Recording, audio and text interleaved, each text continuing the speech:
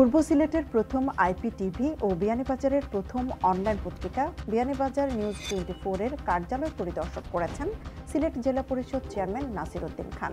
শনিবার সন্ধ্যায় তিনি এবি মিডিয়া গ্রুপের অন্যতম এই প্রতিষ্ঠান পরিদর্শন করেন। এ সময় তাকে স্বাগত জানান এবি মিডিয়া গ্রুপের পরিচালক আজিমুর রহমান বুরহান, মাসুদুল হক শানু ও Masukul Islam Khan, CEO Ahmed Faisal. AB media গ্রুপের অন্যতম প্রতিষ্ঠান, পূর্ব সিলেটের প্রথম আইপিটিভি এবিটিভি এর ষষ্ঠ বর্ষপূর্তি এবং সপ্তম বর্ষে পদার্পণ অনুষ্ঠান আগামী তিরিশ জানুয়ারি মঙ্গলবার অনুষ্ঠিত হবে।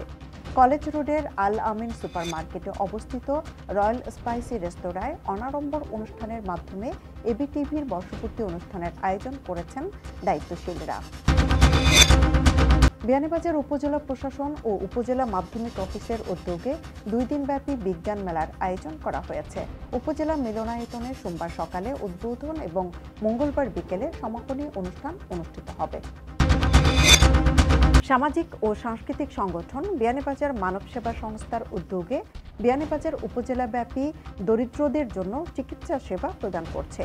এই ধারাবাহিকতায় শনিবার দিনব্যাপী উপজেলার দশ নং মুড়িয়া ইউনিয়নের আভঙ্গী সরকারি প্রাথমিক বিদ্যালয়ে ফ্রি মেডিকেল ক্যাম্পেইন অনুষ্ঠিত হয়। চিকিৎসা সেবা গ্রহণ করেন চার শতাধিক দরিদ্র রোগী।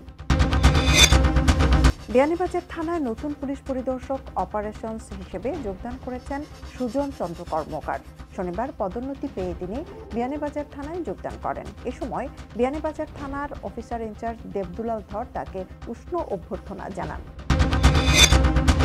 সিলেট মহানগরীর পাঠানটোলায় সিএনজি স্টেশনে অগ্নিদগ্ধদের একজন মৃত্যুবরণ করেছেন। তার নাম মোহাম্মদ মতি মিয়া। তিনি ঘাসিটোলা বেতের বাজার এলাকার মৃত মিসির আলীর ছেলে। শনিবার বিকেল পাঁচটার দিকে ঢাকা শেখ হাসিনা বার্ন ইউনিটে চিকিৎসাধীন অবস্থায় তিনি মৃত্যুবরণ করেন।